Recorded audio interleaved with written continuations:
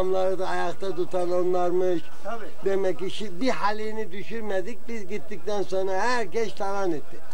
Ha. Demek ki bu Bestin halkının kendi... Evet. Şimdi aşağı şehirde Bestin olarak nabımızda kimler derler? Allah. Peki. Çolo derler. Bana, bana derler. Babamın adı İbrahim de İvan derler. Ha. O nab olarak. Peki hangi ovada oturuyordunuz? Ali Paşa Mahallesi. Ali Paşa Mahallesi'nde.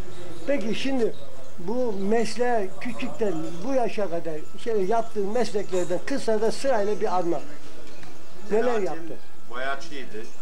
Evet, Bal mumuyla önlük basardık.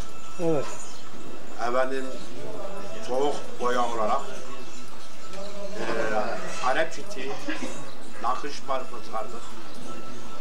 Arap çiti olarak. evet, Efendim yum ip boyalardık halı ipleri. evet, Geygiler yoğdu, bu geygiler yoğdu. evet, Efendim bütün boyalı bezden pistan, tuman, köynek neyse hep boyalı bezden. Yorganların yüzleri yor, boyalı bezden. Cenazemiz boyacıyız işte bunları yapalım. Peki. Şimdi sana soruyorum. Bu işleri yaptınız. Bu Besli'den niye göçtü bu millet?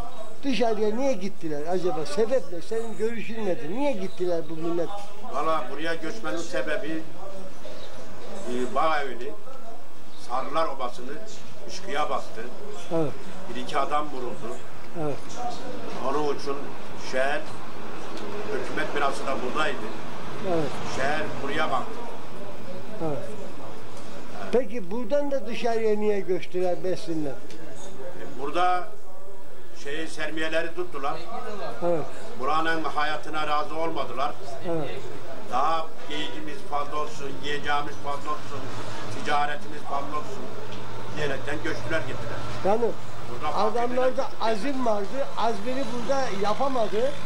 Gücünü kullanamadığı için gücünü kullanacak yer aradı değil mi? Onun için mi gittiler gurbete? Peki şimdi bir de şöyle bak. Gurbete gidenin sırtına yadırdı yorgan demiş derlerdi Besli'de. Ha melengez melengez memlekette dilengez. Bu acaba Besliler baktık ki herkes dışarı giden ne bitti yorgan ne de kutlu yorgandan geliyor, Mercedes'ten geliyor. Bu bu neden oluyor acaba? Niye Valla bu? buradan akıllıyla göçmediler. Ha, Hepsi de varlığıyla göçtü. evet, Kimisi İstanbul'a göçtü. Evet, Kimi Mersin'e göçtü. Evet. Kimi Adana'ya göçtü. Kimi Gaziantep'e göçtü. Evet. Kimi Uşak'a göçtü. Ee, Erzurum'da var, Ezircan'da var. evet.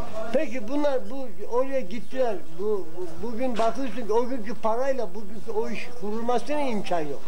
Demek ki akılkanlıkları var. Tabii çokları var şimdi Uşak'ta. Dış devlete gidip efendim Faruk alıp geliyorlar. Ha, Darak derler esas. ha, demek cesaret var demek ki bunlarda. cesaret var, Ha? evet. Mesela ki atasından.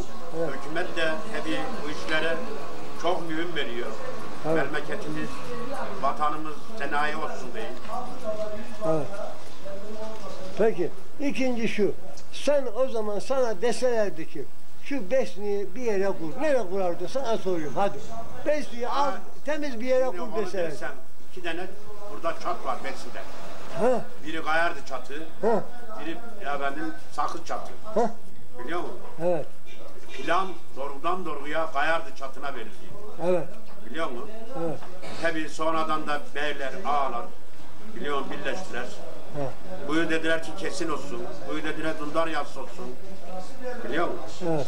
Ha, son sonunda efendim Mekbul Süreçli Dağı'nın Sarhan'da bir evi vardı. Evet. Efendim buraya tuttular bu sakız çatına karar verdiler. Ha. E, isim ha bu yanlışlık.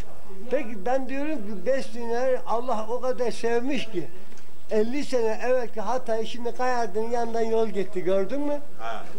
Ne kadar doğru halk, namuslu insanlar, çalışkan adamlar o gün söylerlerdi. O günküleri bugün Allah getirdi, doğruyu söyledi, yerine getirdi değil mi? Ya. Ha, şimdi oraya fabrika kuruyorlar, sanayi kuruyorlar. Evet. Demek ki bize zarar veren kişiler de ortaya çıktı. evet. Çıktı. Ha, Kayardı. Besin. Ha, bugün iki taraflı Efendim tabii e, Anlaç Kayardı var, bu taraf Kayardı var. Bura bir düzü ovadır. Evet. Memleket ne deniz geniş olsa o deniz sığardı. Tabii. Lağım teşkilatları Evet. biliyor musun? Evet. Şeye doğru bu. E, neydi oranın adı ya? Koyacak mı derler? Yok yok. O şey. Para koyulmuş. O aşağı gidiyor ya bizdeki hep dereye aşağı. Taş ocaklarına doğru. Şeyin Çamoğlu'nun obası. ya. Emireli. Evet. Emireli'ye lağım teşkilatı düzgün olarak bağlanırdı. Evet. Şey onlar. Ha, şimdi ikincisi de. Bak ne güzel aşağıda tarihi hiç daha Türklerden evvel yapılmış. Öyle eserler var ki bu yani bizim halkın malı değil Allah'ın malı. Hiçbir padişahın bir çekici yoktur, bir taşı yoktur. Biz Memlük devletleri tarafından yapıldı bu camiler, hamamlar. Bu camiler, hamamlar biz var iken bir haliyi düşmedi. Evet. Bu millet göçtükten sonra camiler talan oldu. Neden? Kim? Bu ihmallıktan mı? Neden oldu bu? Valla camları esası satıldı. Ambar oldu. Allah Allah. Evet. Hani biz Pardon. diyorduk ziyareti yıkanlar cehenneme gidecek diyorduk. Nasıl ambar yıkıyorlar? Daha evvel bu camilerin bir taşı düşmezken, hali düşmezken nasıl satıyorlar? Bu, çünkü kimse buraya para vermedi. Bu Arap. Arap Arap dünyasının e, zamanında parayla yapılmış bu. Yani milletin şeyi. camı, Ha? Kurşunlu camı Evet. Beytullah'ın bir taklit şeyidir yani. Aynı Tabii. kendisinin taklitini yapılmıştır. Tabii bizim e, bu, Şimdi ise şimdi o camı duruyor. Yalan minarasına çok hakaret oldu. evet.